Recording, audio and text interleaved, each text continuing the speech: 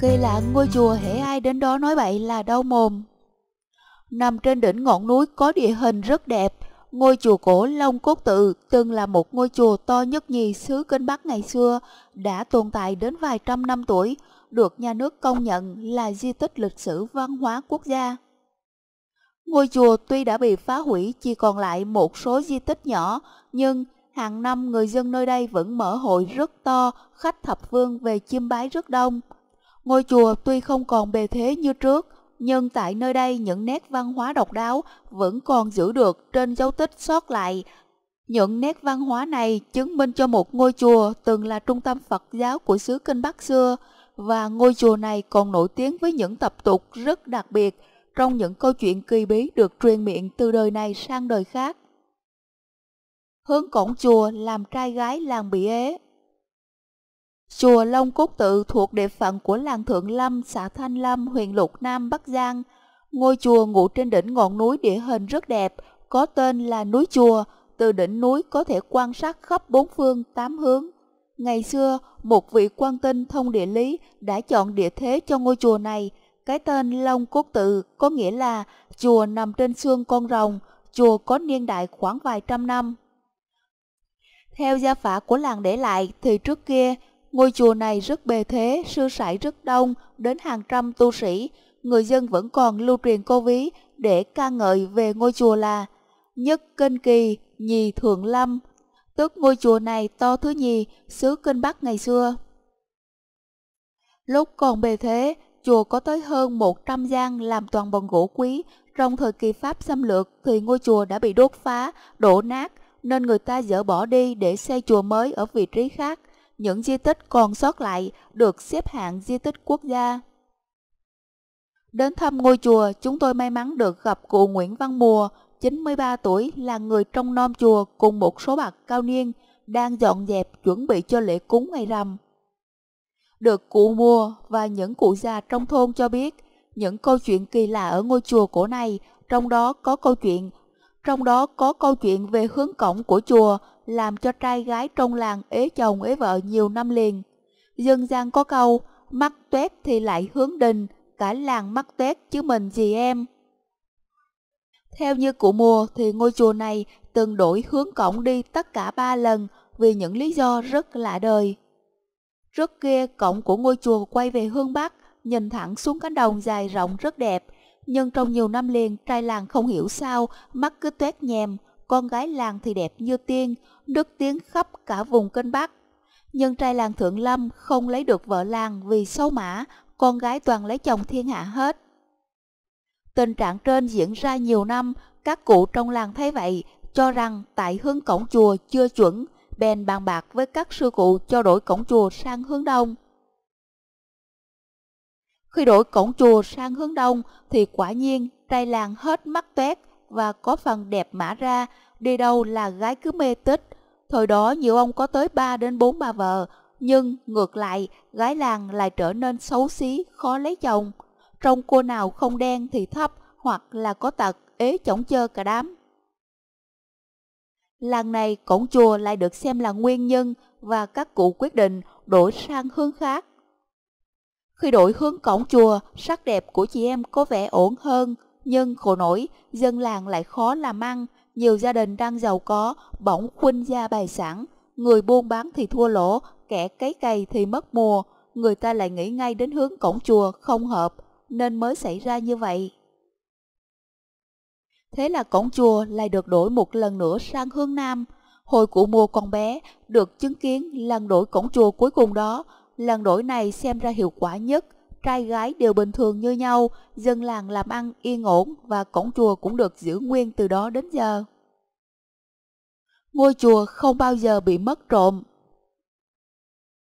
Ngôi chùa còn nổi tiếng là linh thiêng, được người dân nơi đây thờ cúng rất chu đáo. Cụ mùa là người gắn bó với ngôi chùa từ nhỏ, nên cụ cho biết có rất nhiều câu chuyện ly kỳ xảy ra với những người trót đụng chạm vào vùng đất của ngôi chùa. Những câu chuyện khó tin nhưng mà có thật tại ngôi chùa cổ này. Ở ngôi chùa này có một điều đặc biệt là không bao giờ mất đi một thanh củi hay một thứ gì. Từ củi đóm đến tiền, giọt dầu công đức, ngay cả đến những đồ thờ cúng có giá trị dù không có ai trông nom thì cũng không sợ mất trộm bao giờ, vì cứ có ai trót lấy những gì thuộc về ngôi chùa đều phải trả lại y nguyên chỗ cũ. Trước kia trong chùa có những viên gạch cổ vuông vức và những phiến đá khá nhẵn nhụi, nhiều người thấy vậy bèn đem về để dùng. Nhưng cứ ai lấy về cũng đều gặp phải những chuyện lạ, người đau tay, người thì lăn ra ốm, thuốc thang thế nào cũng không khỏi. Rồi khi ngủ, cứ hệ nhắm mắt là thấy một vị sư chống gậy gò mõm đến nói Của nhà chùa sao các con lại đem về dùng? Nhà chùa lấy đâu ra đồ dùng? Cả mấy người lấy gạch đá về đều gặp chung một giấc mộng như vậy, ai cũng sợ hãi, bê vội gạch đá lên trả lại nhà chùa thì lập tức hết đau ốm, khi nằm ngủ cũng không còn gặp ác mộng như vậy nữa. Ở làng có cô Nguyễn Thị Thực, thỉnh thoảng lên núi kiếm củi, vào chùa thấy một hòn đá xanh nhẵn nhụi rất đẹp. Cô nghĩ nhà mình đang cần có một phiến đá để kê cái bể nước, liền đem về để dùng. Nhưng kể từ ngày mang đá về cứ đau ốm liên miên, khám thế nào cũng không ra bệnh. Có bệnh thì phải vái tứ phương, cô đi xem bói thì thầy bói bảo cô lấy của nhà chùa nên mới bị như vậy, chỉ cần đem trả lại thì không sao hết. Nhớ ra hòn đá mà mình mang về nhà, cô vội đem trả lại, sự ốm đau cũng hết. Rồi có mấy người dân có lần rủ nhau lên chùa chặt cây lấy củi về đun, làm cán cuốc, nhưng củi chưa kịp khô, cây chưa kịp làm cán cuốc, thì ai cũng bỗng dưng bị đau bụng, mê sản giống ý hệt như nhau.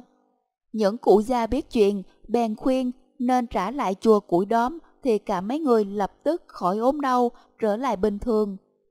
Cụ mua nói rằng mấy người trót phạm vào đất linh thiêng của chùa đều là người dân xung quanh đây cả, họ vẫn còn sống nên hỏi ai cũng biết những chuyện đó. Lên chùa nói bậy là đau mồm. Ngôi chùa có một tập tục là khi lên chùa thì tuyệt đối không ai được nói bậy bạ một từ nào. Theo các bậc cao niên ở địa phương thì tập tục này đã có từ rất lâu, ngay từ thời các cụ đầu con để chõm đã được ông bà cha mẹ dặn dò là lên chùa không được nói bậy bạ, nếu không thần thánh sẽ quở phạt. Và cũng có câu chuyện linh ứng xoay quanh tập tục này mà đến nay chưa có lời giải thích. Thuộc lệ này bắt nguồn từ việc sư trụ trì ra lệnh cấm không ai được nói những câu bậy bạ trong chùa. Nếu nói bậy sẽ bị phạt, vì thế mà từ sư sãi đến người dân khi đi chùa không ai dám nói những câu tục tiểu, tục lệ này cũng chẳng ai để ý đến nữa từ khi ngôi chùa không còn. Nhưng có một điều lạ là cho đến nay hệ cứ ai nói bậy là mồm miệng lại có vấn đề.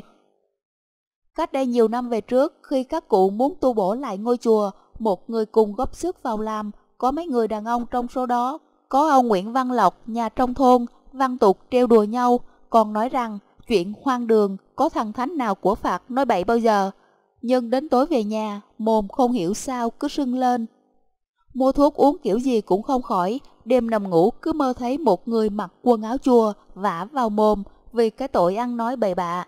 Mấy ông sợ quá liền sắm mâm hoa quả, mang lên chùa tà lỗi thì lập tức mồm khỏi sưng và ăn uống bình thường. Cũng từ đó mà người dân nơi đây không ai bảo ai, nhưng khi lên chùa thì từ già đến trẻ con đều không ai dám nói câu bậy bạ dù chỉ một câu. Hàng năm, ngày 19 tháng Giêng là ngày hội của chùa, với sự nổi tiếng và linh thiêng của mình, ngôi chùa vẫn thu hút khá nhiều khách thập phương từ mọi miền về dự lễ hội, tuyệt nhiên không ai dám nói bậy bạ một câu nào.